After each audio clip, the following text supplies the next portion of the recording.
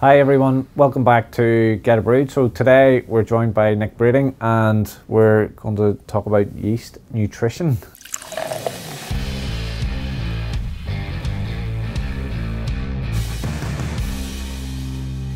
There's a lot of different ways people are using yeast. So some people have house yeasts that they grow up themselves and manage and recycle, you know, maybe seven, eight, you know, I've heard of more times the yeast being reused.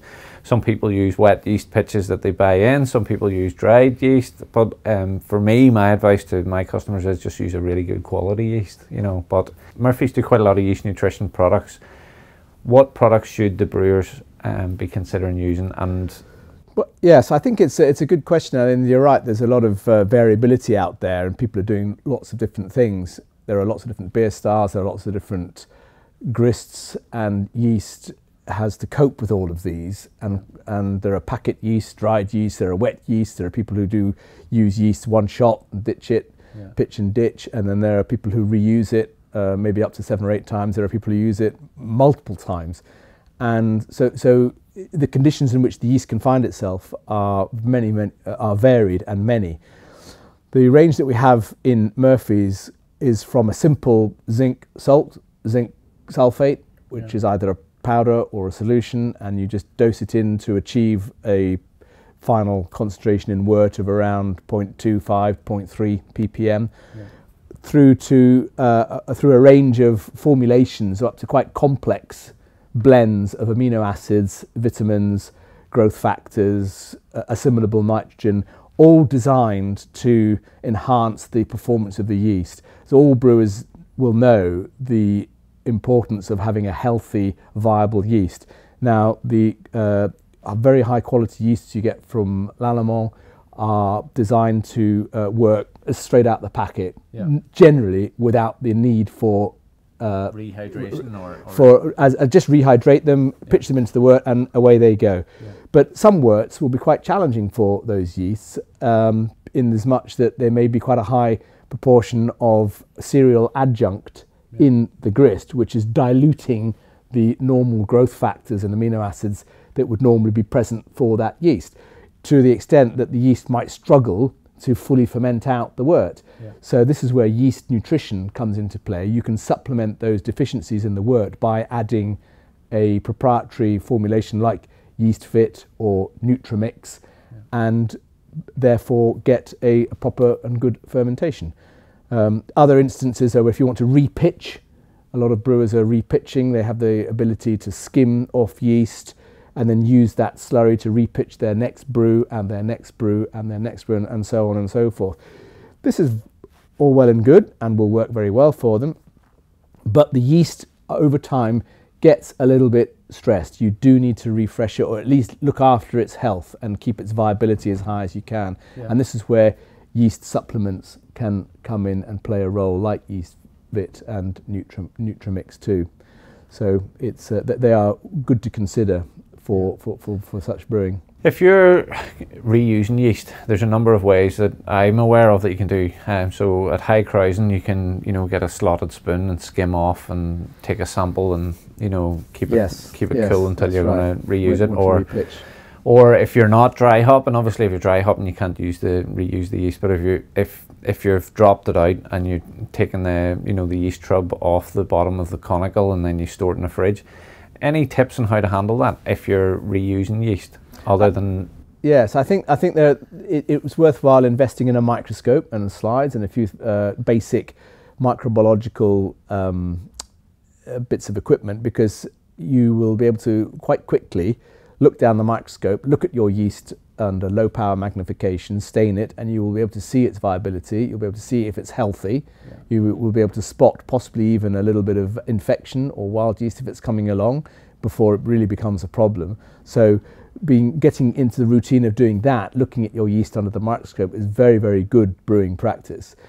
Um, in terms of the actual practicalities of handling, uh, cleanliness is next to godliness in the brewery. If you're going to start doing this with yeast, you've got to keep it clean, uh, look after it, use um, use clean equipment all the time before and after working with beer. This is well known to all brewers, but of course it's uh, sometimes forgotten in the rush of yeah. production. So uh, always uh, uh, keep the place clean.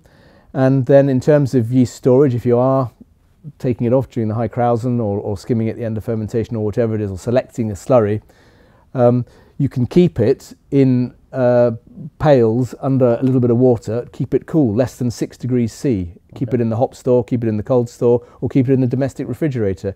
You won't need much, and it'll keep quite happily yeah. in this sort of state of suspended animation until the next time you want to use it. Yeah. And we have brewers that are growing up their yeast pitches, so they're maybe taking a you know, a brick of yeast and wanting to grow it up to, to do enough for a few thousand litres, or indeed they're taking a homebrew packet of liquid yeast and growing it up. Is there any particular nutrition that you think they should be adding at that stage? You know, when it first goes onto the stir plate with the Erlenmeyer and they're they've a little bit of wort or whether you're using spray malt or something to get going. Is there something else that should be added at that stage? Well, I think at that stage probably also just consider using some zinc yeah. zinc, zinc uh, sulfate or zinc chloride. Zinc sulfate's the more easy one for yeast to assimilate. So I would recommend using a zinc sulfate yeah. growth factor. And um, you'd mentioned Nutrimix and Yeast Aid. Um, what's the difference between the two of them? Uh, essentially, the difference is quite small. Yeastvit is a powder. It's, it's, it comes as a crystalline powder in a 5 kg box, and you would just add five or six grams per hectoliter of wort to your cold wort and into the into the fermenter. Um, it's a very rich mixture. It's got uh, diammonium phosphate and amino acids and, and uh, vitamins in it.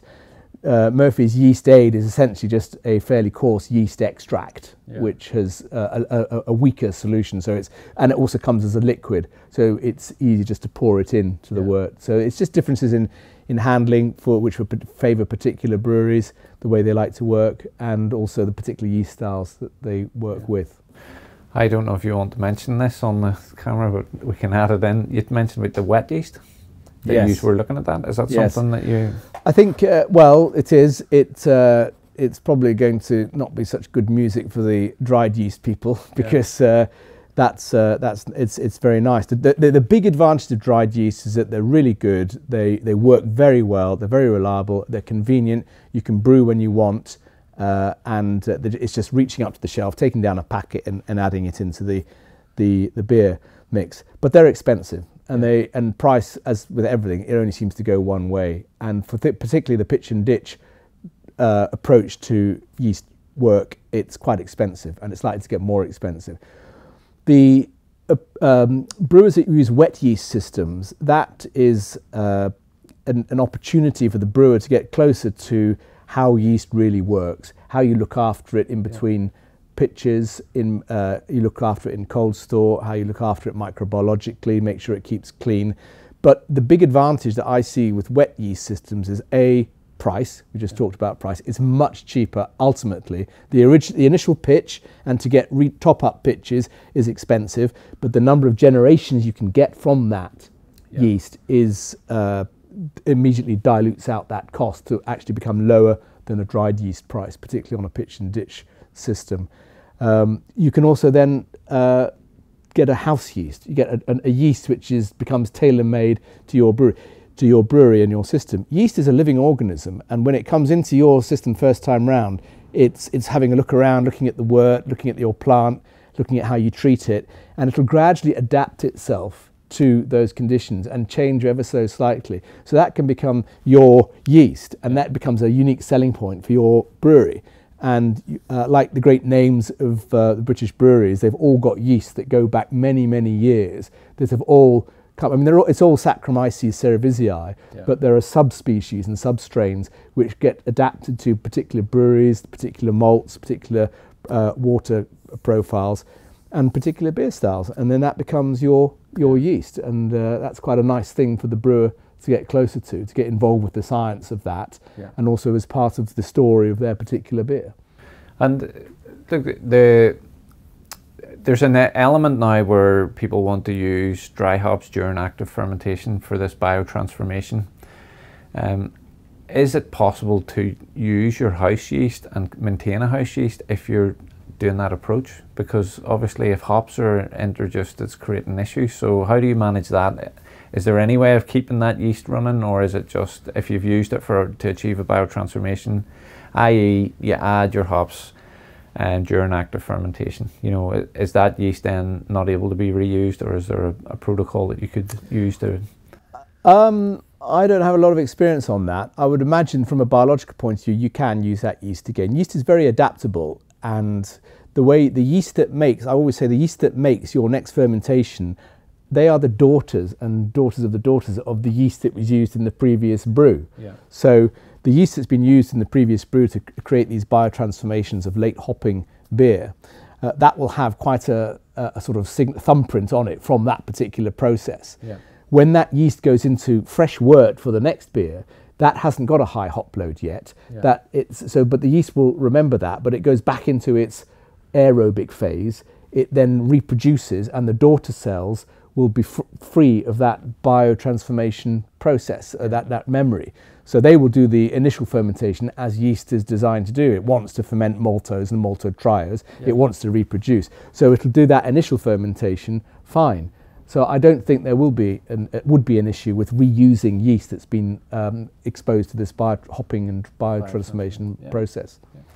But you might find that the use of a yeast nutrient helps it yeah. because it may be a bit stressed from the biotransformation process.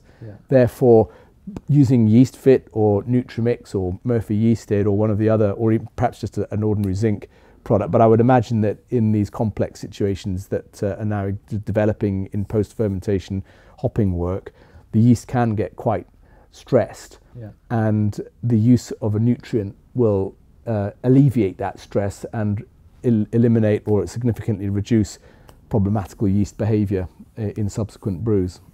This is not something to get caught up with, but as a financial cost in terms of yeast nutrition, the, the total cost of the packaged beer, you know, the, the tin or the bottle that you have, um, it's worth that extra few pounds to give the yeast the, you know, the, the kickstart that it needs yep. and to give the cell walls that extra bit of structure. So most definitely, it's yeah. it's it's uh, decimals of a penny yeah. per pint really when you come to this when you look at all the extra the, the, the, cost of these process aids but the benefit you the value you get and the benefit you get in high quality uh, fermentations and trouble-free operation is second to none. The last thing brewers want is when they're in the high season, really brewing lots of beer. Yeah. It's going out the gate really fast. It's really nice beer. They've worked hard to develop a nice recipe and to create a good process.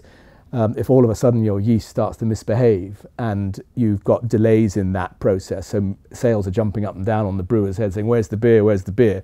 Oh, it's not going to be ready until Friday." Well, that you know, uh, yeah. your competitors come in and you lose the market share. So uh, why why suffer that instead of a couple of uh, pounds buying some yeast food to look after your yeast and give a good yeah. performance?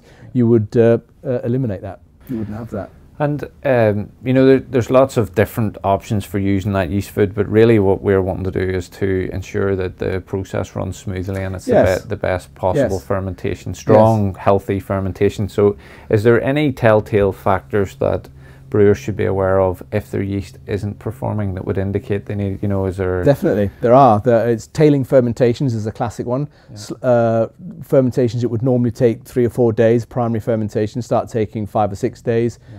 Uh, they don't get down to the final gravity in a, in, in, a, in, a, in a proper time. Uh, the appearance of the yeast, uh, a good brewer will know what a good yeast head looks like. Yeah. Uh, it looks uh, bright and clean and fresh and there's a good smell. Uh, unhappy yeast, the, the, yeast heads will be suppressed and maybe a bit greyish in appearance. So there are visual factors even without the need to use a microscope. But going back to what I said about a microscope, that is a really good investment. I know there are a couple of hundred pounds to get and uh, a few other bits and pieces of kit are required, but it really is uh, a worthwhile investment to make and get some training in how to look at basic yeast microbiology under the microscope and that will tell you when your yeast is. It keeps the viability up and, and a strong and healthy yeast will, will swamp out any infection from wild yeast and uh, again, so I can't really speak strongly enough about keeping the yeast in a good way because yeah. that really is going to help the brewer. It's his best friend, the yeast. Yeah. A couple of really interesting yeasts have appeared in the market in recent years. The Kveik, if I'm pronouncing that right, or you know, Kveik, Kveik yeasts, yeah. yes, Norwegian. Um, strain, farmhouse strains, yeah. Um, yeah. like we we've a, a couple of um, members of staff from that part of the world, and they you know would say you know we fermenting beers at 39 degrees in 48 hours, and to us that was alien. But now it seems to be readily accepted, and it's a great. You know, we have a couple of really good strains that we're getting a nice, clean flavour profile at those temperatures. And also, I'm noticing a lot of our homebrew community customers experimenting with fermenting under pressure and at much higher temperatures. In fact, we have um, been doing some experiments ourselves, you know, fermenting lagers. You give me some tips on how to ferment a lager at a higher pressure. Um, so look, if you're looking at higher temperature under pressure, nutrition needs to be in there. Is basically what I'm getting. Yes, at, you know. So. Yes, that most definitely. I think uh, a lot of brewers forget that uh, yeast. It's, it's, it's you know well they don't forget it's a living living organism, but they like to be innovative and change things. And as you say, pressure and temperature. Yeah.